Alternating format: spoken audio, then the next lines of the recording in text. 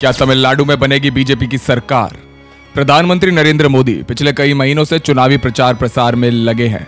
जहाँ उन्होंने खुलकर कहा कि मैं उदयनिधि स्टालिन को चुनौती देता हूँ कि वो पहले अपनी माँ को मंदिर जाने से रोक कर दिखाए।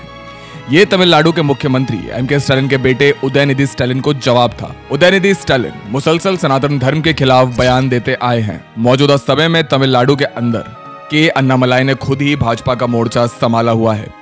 दैनिक भास्कर की एक रिपोर्ट के मुताबिक, के अन्नामलाई तमिलनाडु में बीजेपी का सबसे बड़ा चेहरा है। वे हिंदुत्व पर मुखरता से बोलते हैं। प्रदेश में सत्ता संभाल रही डीएम के लीडरशिप पर सीधे हमला बोला जाता है के अन्नामलाई के द्वारा। इसके पीछे वाजिब वजह भी है के अन्नामलाई कोयम्बटूर से चुनाव लड़ रहे हैं। यहाँ अट्ठासी प्रतिशत हिंदू आबादी है। बीजेपी को तमिलनाडु में जिन सीटों पर जीत की सबसे ज़्यादा उम्मीद है कोयम्बटूर उनमें से एक है। कोयम्बटूर और अनामलाई बीजेपी के लिए कितने अहम है? ये इससे पता चलता है कि पिछले तेईस दिनों में प्रधानमंत्री नरेंद्र मोदी यहाँ दो बार रैली कर चुके हैं। प्रधानमंत्री नरेंद्र मोदी ने 10 अप्रैल को हुई रैली में कहा था कि डीएमके के एक बड़े नेता से हमारा युवा नेता के अन्नामलाई के बारे में पूछा गया तो उन्होंने अहंकार में कहा कि कौन है वो? ये अहंकार तमिलनाडु के महान कल्चर के खिलाफ है। ये फैमिली पॉलिटिक्स करने वाले लोग हर युवा को आगे बढ़ने से रोकते हैं। तमिलनाडु के कोंगू रीजन में आने वाली कोयम्बटूर सीट एआईएडीएमके का गढ़ है। इस बार डीएमके ने भी यहाँ कैंडिडेट उतारा है। पहले डीएमके की सहयोगी पार्टी सीपीआई यहाँ से कैंडिडेट उतारती थी। तीनों ही पार्टियाँ कोयम्बटूर से जीत का दावा कर रही हैं।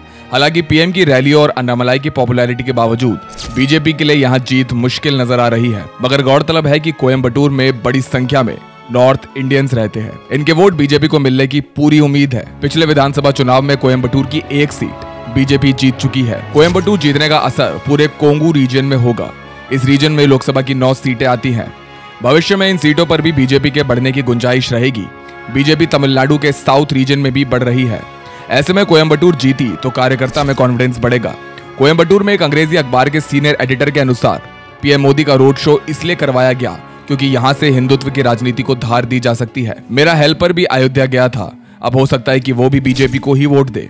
आम लोगों के बीच राम मंदिर का भी थोड़ा थोड़ा असर दिख रहा है। मेरी सोसाइटी में ही मैंने लोगों को राम मंदिर के बारे में बात करते सुना। वे कहते हैं कि कोयम्बटूर पहले लेफ़्ट का गढ़ था। यहाँ बड़ी संख्या में कपड़ा मिले हैं।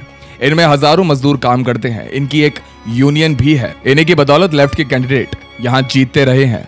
लेफ़्ट के बाद जयललिता के राज में इस रीजन में ए ने पकड़ बनाना शुरू कर दिया था। 2011 के बाद से इस पार्टी काफ़ी मज़बूत हो गई है। ए आई ए डी एम के यहाँ कितनी मज़बूत है? इसका अंदाज़ा पिछले विधानसभा चुनाव के नतीजे से लगाया जा सकता है। इस चुनाव में पार्टी ने 10 में से 9 सीटें जीती थी। एक सीट बीजेपी ने जीती थी।